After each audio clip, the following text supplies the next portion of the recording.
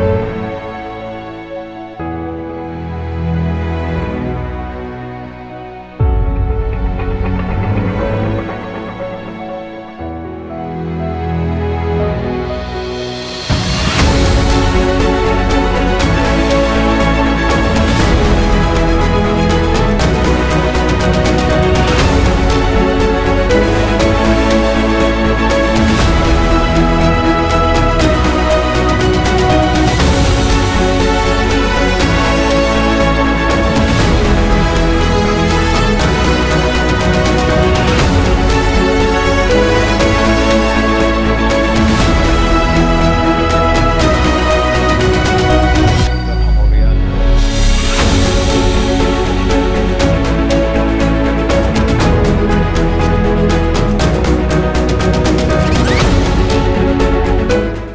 الذي حصل بالنسبة لأمريكانا للمطاعم منذ شرائها بال 2016 وحتى اليوم؟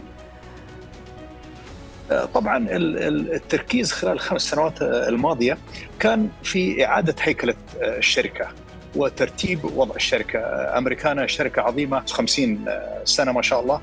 فلذلك قضينا أغلب الوقت في تنظيم المؤسسة،